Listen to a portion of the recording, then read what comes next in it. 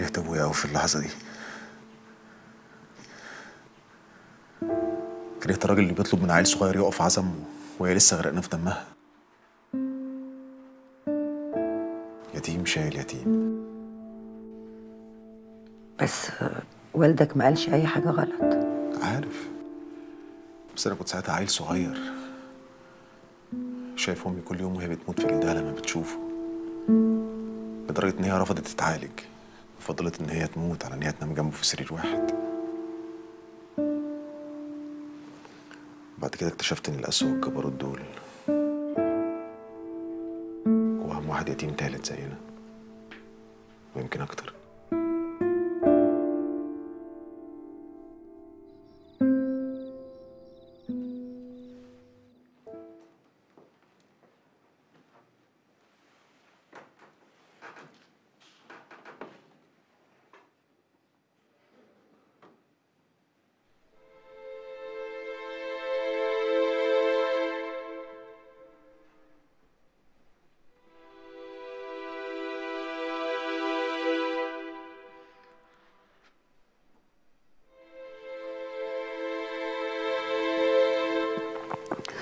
غصب عني. غصب عني يا أطهر ست في الدنيا كلها.